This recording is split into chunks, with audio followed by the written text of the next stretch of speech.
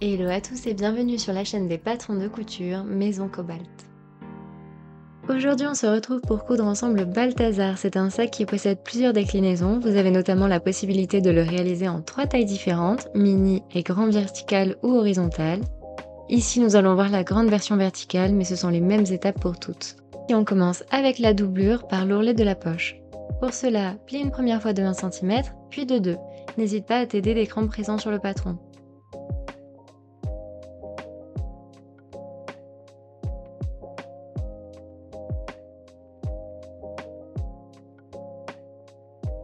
Maintenant, pique ton ourlet et repasse. Ici, j'ai omis cette étape mais tu peux surjeter tout le tour de ta poche. Ensuite, replie les deux côtés de 5 mm.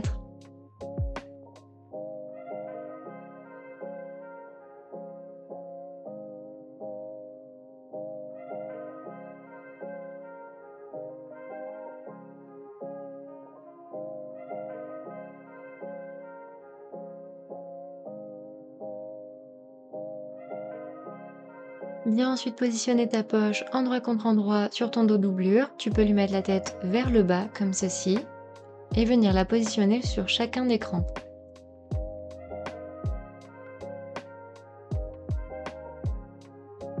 Épingle puis pique à 1 cm.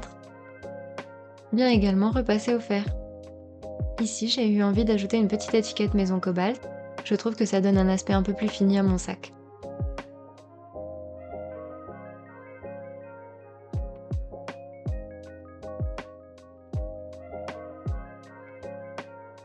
Viens ensuite positionner ta poche sur ta doublure et viens la plaquer en piquant sur les côtés, comme ceci.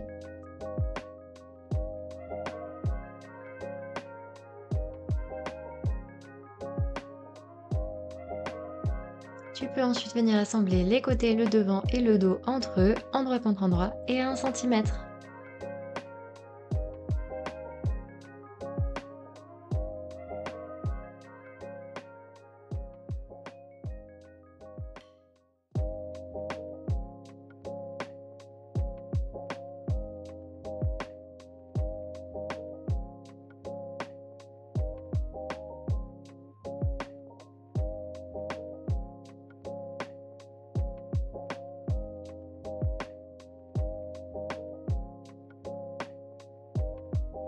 On passe maintenant à la partie tissu. J'ai préalablement préparé mon travail en thermocollant toutes les pièces comme décrit dans la notice, et maintenant on va tracer les lignes pour matelassé.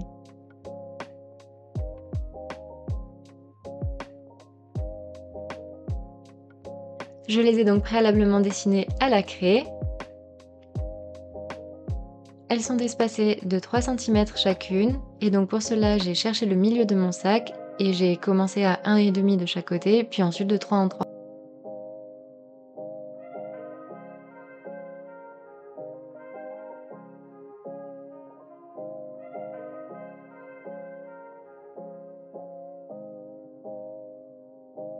On vient ensuite positionner le matelassage. De mon côté, on peut voir que mon matelassage coïncide avec les bords du tissu, alors que sur le patron, il coïncide plutôt avec le thermocollant. Ça s'explique par le fait que celui-ci était mon prototype, donc je te recommande vivement de suivre le patron. Réalise ensuite cette même étape pour le devant, le dos, les côtés et le fond de ton sac.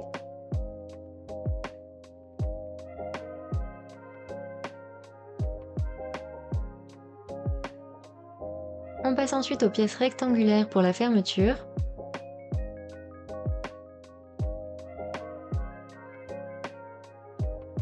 Ici, je viens redécouper les deux bouts parce que c'est un plastique très rigide.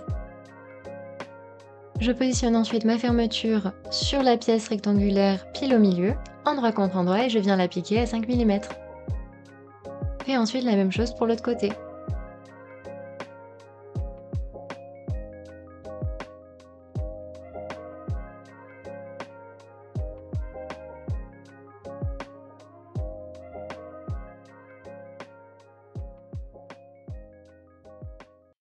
maintenant venir positionner l'autre pièce rectangulaire en prenant la fermeture en sandwich.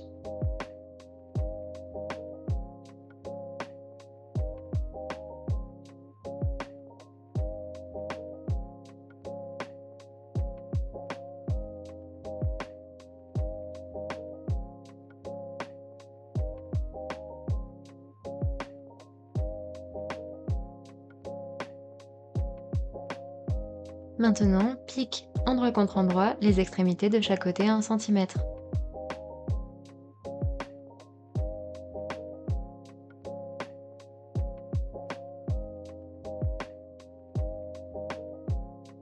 Ensuite, viens dégarnir les angles à l'aide de ta paire de ciseaux.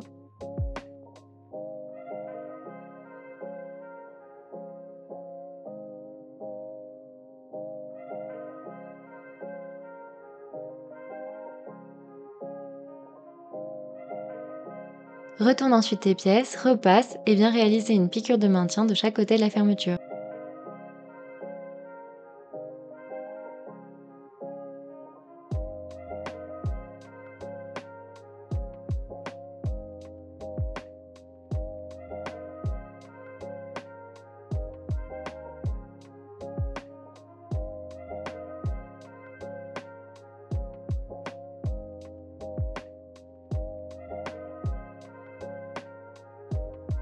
Viens maintenant positionner ta fermeture endroit contre endroit du haut de ton sac, comme ceci, et positionne-la entre l'écran du patron.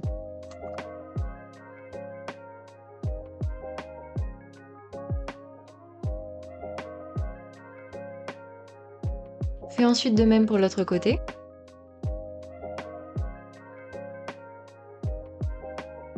Et pique ensuite à 5 mm pour maintenir.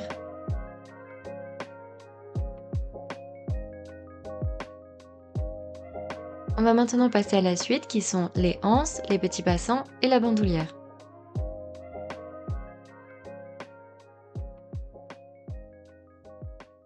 On commence donc avec les petits passants, plie-les endroit contre endroit et pique à 1 cm. Encore une fois, ici c'était mon prototype, donc ma technique peut paraître un peu floue, je te recommande de suivre les étapes de la notice. Elles seront beaucoup plus détaillées et tu y verras les différentes possibilités. Donc maintenant on passe aux anses. Pour euh, les anses comme pour la bandoulière, tu as deux possibilités en fonction de l'épaisseur de ton tissu. On commence ici avec la première, place simplement endroit contre endroit tes deux morceaux et pique de chaque côté à 1 cm. Ensuite tu pourras simplement venir le retourner avec une épingle à nourrice.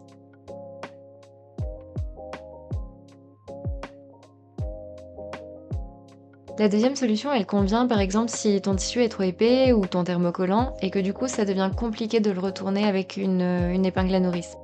Donc tu peux commencer comme tout à l'heure en venant positionner tes pièces endroit contre endroit, seulement cette fois-ci tu vas venir piquer et épingler qu'un seul côté.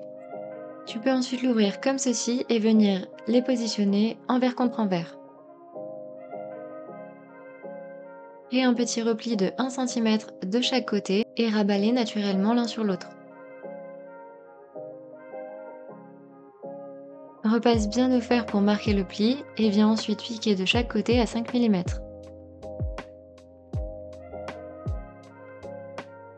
Une fois que ma bandoulière est piquée, j'obtiens ceci, et ça donnera exactement le même résultat avec l'épingle à nourrice.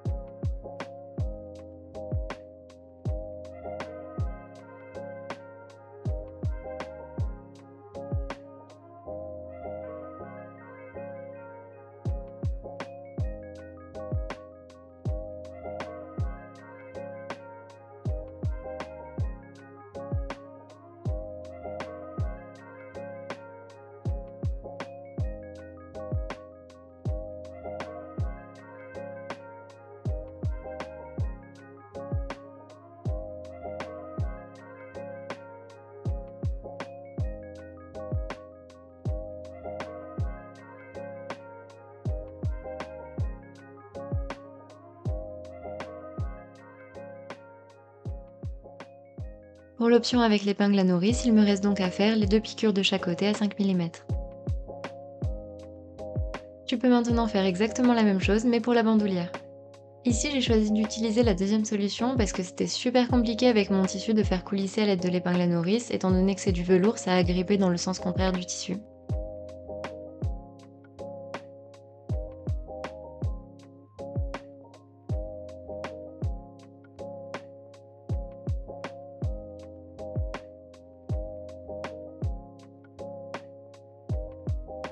Retourne également tes passants à l'aide de ton épingle à nourrice. Encore une fois, je te conseille de suivre la notice car elle explique beaucoup mieux comment finir le passant.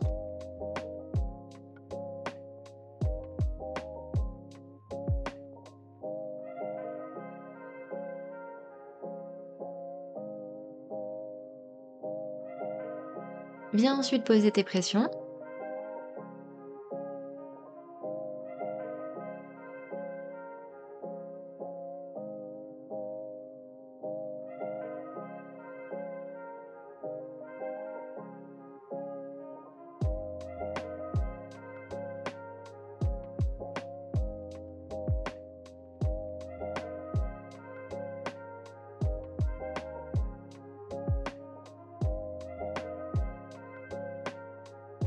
peux ensuite les coudre aux côtés de ton sac, endroit contre endroit et à 5 mm pour maintenir.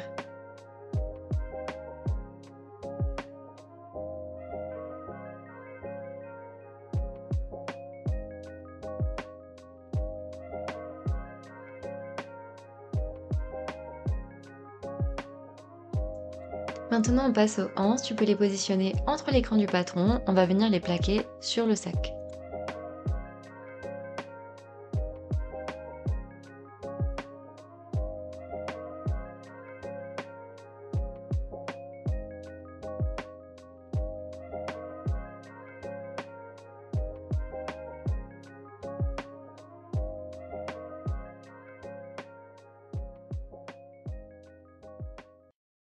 Viens ensuite piquer tes hanches à 5 mm de chaque côté pour les plaquer, mais aussi en haut au niveau des crans du patron à 3 cm du haut de ton sac. Comme tout à l'heure pour la doublure, j'ai eu envie d'ajouter une petite étiquette. Et si jamais ça vous intéresse de faire vos propres étiquettes, j'ai acheté les miennes chez Dutch Label et je suis super contente du rendu et de la qualité.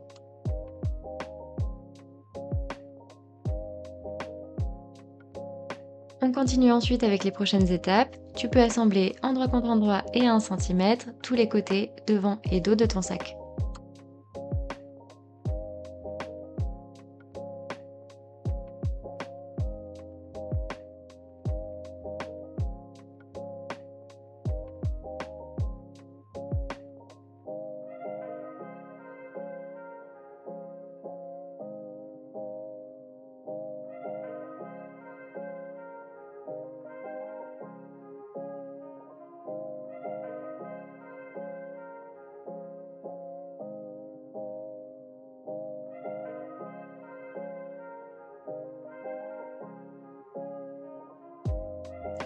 Viens maintenant assembler ta doublure à la partie sac en tissu. Pour cela, positionne-la endroit contre endroit et pique à 1 cm tout le tour.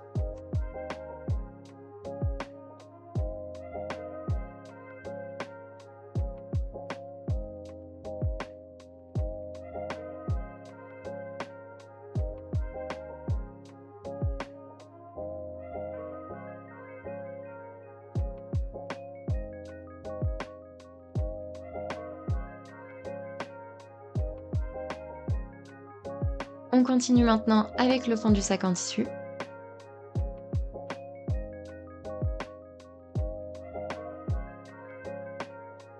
Pour que ce soit plus simple, je commence d'abord par faire correspondre les deux côtés les plus longs, je les assemble puis les pique et ensuite je passe au petit.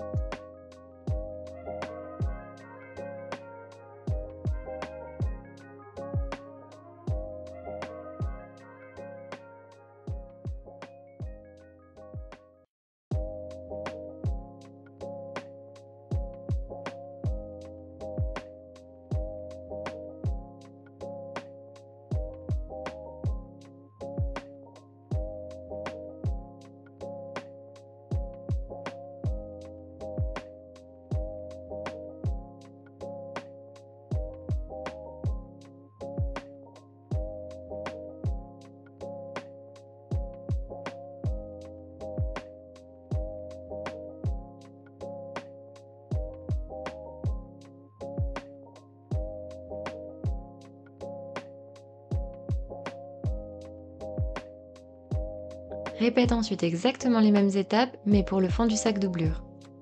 La seule petite particularité ici, c'est qu'on va laisser un espace de 10 cm afin de pouvoir retourner intégralement le sac. Je suis d'avance désolée pour la qualité de la vidéo qui va suivre. À ce moment-là, je n'avais qu'une seule journée pour tout filmer et on peut voir que la nuit commence à tomber au fur et à mesure. Tu peux maintenant retourner tout ton sac avant de passer à la bandoulière.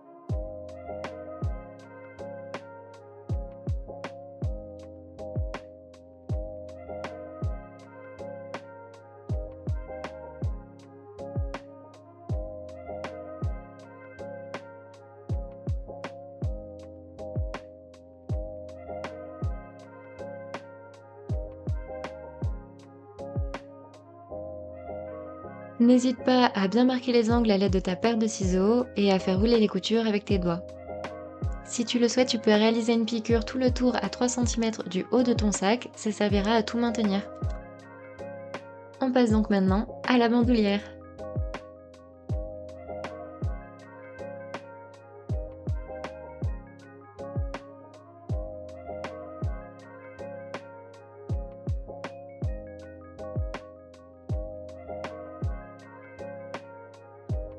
Pour le premier côté, passe-le dans une des boucles, replie et pique.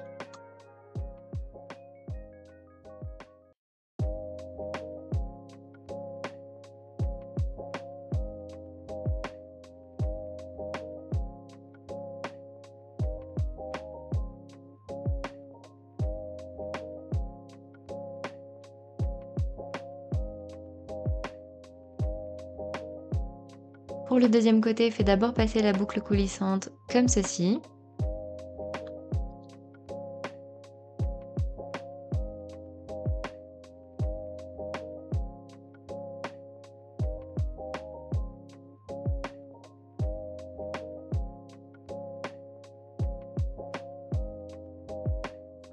Ajoute ensuite l'autre boucle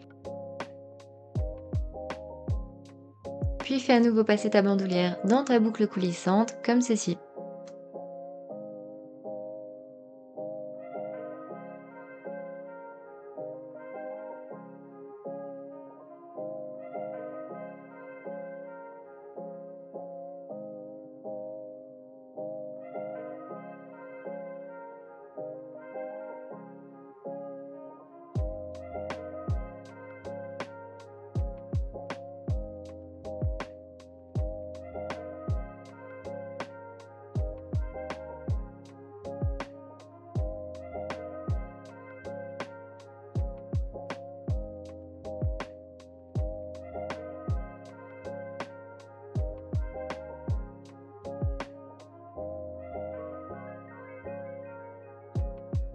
Laisse un peu de marge, puis viens replier et piquer.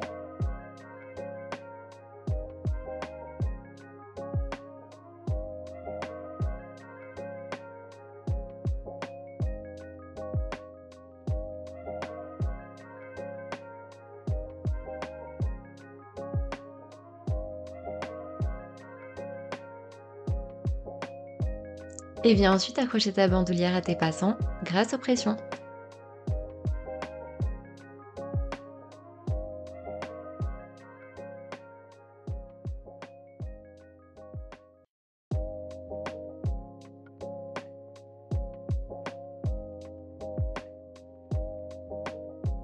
Petite chose que j'avais oublié de préciser avant, il faut effectivement venir réaliser une petite piqûre à ce niveau pour venir maintenir ton passant correctement contre ton sac. Tu peux également en rajouter une deuxième juste au-dessus de la doublure.